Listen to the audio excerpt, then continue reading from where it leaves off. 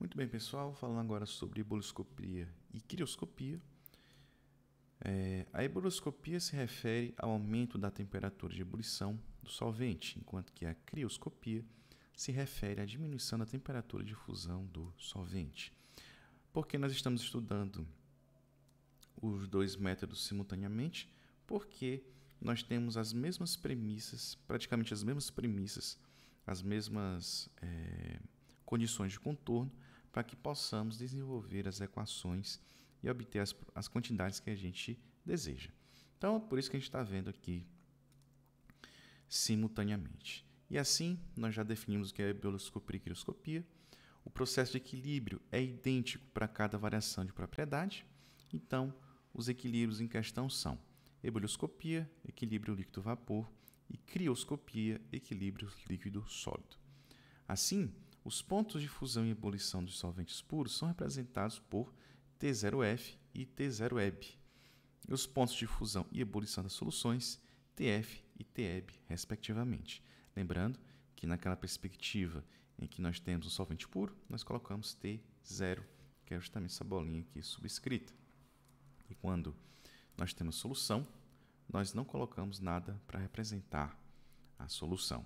E aí, o que vai acontecer é que na ebolioscopia nós temos o aumento da temperatura de ebulição em relação ao solvente puro e, por consequentemente, a variação de temperatura, nesse caso, é positiva.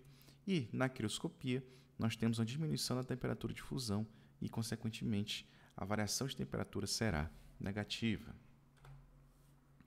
Então, como sempre, como nós estamos tratando a situação no equilíbrio, nós fazemos a igualdade de potenciais químicos potencial químico do solvente puro é igual ao potencial químico, perdão, solvente químico puro não, da solução. Então, isso aqui, misol, é o potencial químico da solução. E potencial químico da fase pode ser sólida ou líquida. Então, substituindo o potencial químico do, da solução como sendo potencial químico do solvente puro mais RTN de x, nós temos essa condição. Ln de x igual a menos μ0 menos μ da fase sobre RT. Como a gente já sabe, essa diferença de potencial químico corresponde à variação da energia de Gibbs do processo. Se for na presença do vapor, será a energia de Gibbs de vaporização, ou seja, ΔG de vaporização, o potencial químico da vaporização menos potencial químico de vaporização do solvente puro. Se for sólido, nós temos a energia de Gibbs de fusão, ou seja, nós invertemos aí a diferença de potencial químico. Se vocês observarem, praticamente é a mesma coisa, então isso aqui é somente para é, um artifício matemático que a gente vai utilizar mais adiante. Praticamente nós temos que as variações são as mesmas em termos matemáticos, mas o que, matemáticos, mas o que varia é justamente a fase em questão. Então, continuando, se for um sólido, será a energia de Gibbs de fusão, ou seja, a variação de Gibbs de fusão corresponde à diferença dos potenciais químicos de fusão do solvente puro e, do, e da solução. E assim, nós temos que Ln de x vai ser igual a menos 1 sobre R ΔG do processo, que pode ser o processo ebulioscópico ou crioscópico, dividido por Aqui é importante frisar que nós precisamos saber como que a temperatura influencia sobre a concentração ou a fração molar da solução. Porque nós estamos vendo que por conta da adição de soluto no solvente, nós temos aí uma variação das temperaturas de fusão e ebulição. E por conta disso, nós vamos fazer uma derivada implícita nessa equação e nós vamos obter o seguinte. Quando a gente deriva ln de x, nós temos 1 sobre x que multiplica o, valor da fração molar, porque é uma quantidade dependente da temperatura, como é preconizada pela regra da cadeia. Então, nós vamos fazer 1 sobre x, que é o valor da derivada da função ln de x, vezes o valor da derivada da função, ou seja, dx dt, e nós estamos considerando aqui pressão constante, porque nós estamos avaliando a energia de Gibbs da função.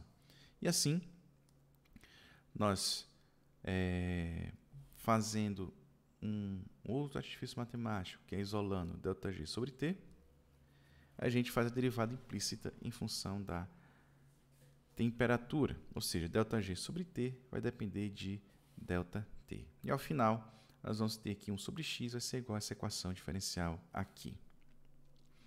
Nós já sabemos que essa quantidade é, corresponde justamente na equação de Van Toff, que é ΔH sobre T ao quadrado. E assim a gente substitui dentro, dentro dessa equação e nós chegamos a, a, essa quantidade, ou seja, 1 sobre x é igual a ΔH do processo sobre RT ao quadrado vezes dt dx, a pressão constante. Então, nós estamos aqui considerando equações diferenciais ordinárias e o que a gente faz é colocando dx do outro lado, nós vamos chegar na expressão do tipo dx sobre x é igual a ΔH do processo sobre RT ao quadrado vezes dt. Quando a gente integra entre duas concentrações ou entre duas temperaturas, nós temos aqui a equação que já nos é muito conhecida, ou seja, que o Ln da concentração nos dá o ΔH do processo em função da diferença de, do inverso das temperaturas do processo, de fusão ou de ebulição. Então, isso aqui vai dar um gráfico linear. Se fizermos Ln de x versus 1 sobre t, então nós já sabemos que isso aqui é um gráfico linear e que o coeficiente angular, o tangente de alfa, nos dá menos ΔH sobre R. E quando nós fazemos extrapolação para o eixo do x, nós encontramos ΔS sobre RT. Perdão, ΔS sobre R, que é justamente a variação de entropia do processo. Tá? Muito bem, nós vimos aqui a possibilidade de encontrar a, a, os dados termodinâmicos da buroscopia e da acroscopia, mas falta observar a análise desse cara aqui, ó, dessa quantidade dt dx sob pressão constantes. Sob pressão constante, melhor dizendo. Como nós vamos fazer esse tipo de análise? Primeiramente, nós precisamos fazer a observação da dependência da fração molar com a molalidade. Para não perder muito tempo mostrando como se chega nessa quantidade, mas não é uma quantidade difícil de se encontrar, nós encontramos que a fração molar depende da, da molalidade nessa expressão, ou seja, a fração molar, perdão, ela é o inverso da soma do produto entre a massa molar da substância vezes a sua molalidade. E aí o que vai acontecer? Qual vai ser qual vai ser a dependência da temperatura sobre a fração molar? Então, o que nós vamos fazer? Então, nós vamos aplicar o logaritmo em ambos os lados daquela expressão e vamos chegar que Ln de x é igual a menos Ln de 1 mais massa molar vezes o produto da molalidade. E aí o que acontece? Quando nós fizermos uma derivada implícita dessa igualdade, nós temos que dx sobre x é igual a menos mdm dividido por 1 mais o produto da massa molar do solvente vezes a molalidade da solução. Nós podemos considerar que dx sobre x é igual a dln de x, que é justamente a derivada do ln de x, mas podemos dizer que isso é igual à derivada, perdão, que isso é igual a a variação da entalpia do processo dividido por RT ao quadrado. E quando a gente faz isso, a gente chega nessa expressão que aparentemente parece ser um tanto quanto complexa. Nós temos aqui uma dependência da entalpia do processo, da temperatura da substância, da sua massa molecular e também da quantidade de solução, ou seja, da, da molalidade da solução. Porém, a gente pode simplificar essa equação considerando aqui uma solução ideal, ou seja, a solução ideal é quando as concentrações são próximas de zero. Ou seja, quando isso acontece, nós temos que a soma do denominador tende a 1, porque o produto fica muito pequeno comparado a um número. E, consequentemente, nós temos aqui uma aproximação Experimental, quer dizer, se nós estamos considerando uma solução ideal, significa dizer que a temperatura de ebulição ou de fusão é praticamente semelhante à temperatura de fusão e de ebulição do solvente puro. E é o que acontece, nós chegamos nessa outra expressão, que a gente consegue determinar que a variação da temperatura pela variação da concentração é igual a essa quantidade aí que são constantes. Então, nós temos aqui a massa molar do solvente, nós temos a constante universal dos gases, nós temos a temperatura de fusão ou de ebulição do solvente puro.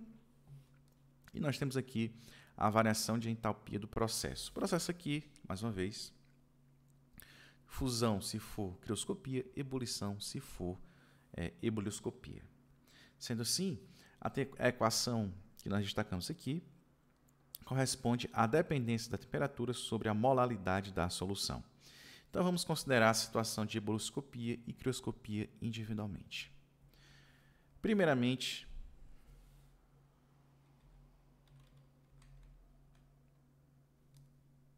de novo. Então, a equação acima destacada corresponde à dependência da temperatura sobre a molaridade da solução. Então, no próximo vídeo, nós vamos observar como a ebuloscopia e crioscopia vão depender dessa quantidade de forma individual. Então, até o próximo vídeo.